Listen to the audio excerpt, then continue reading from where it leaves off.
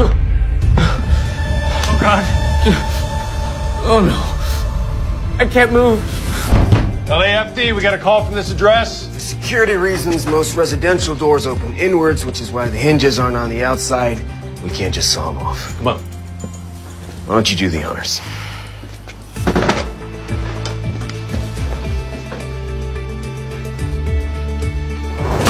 Craig? LAFD here. Help me. Oh.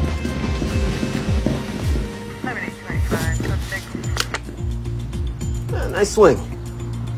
I have some notes. All right, sir, we're here. I can't move. Okay, did, did you hurt your head or your neck in any way?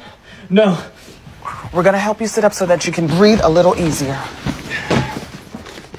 What are you doing? Getting in a position to lift the patient. On my side? Okay. Let's get him upright and relieve the pressure on his diaphragm. I'm just gonna. Stabilize your neck. Did I have a stroke or something? Based on the lack of facial drooping and your speech, there's no impairment. I'd rule that out. Then why can't I move? I'm gonna try to figure that out. No sign of trauma, airways patent. Pulse feels strong. BP's 110 over 70. Oxygen is 93. I'm gonna lift your arm for you. And then you keep it raised as long as you can after I let it go, okay? Okay.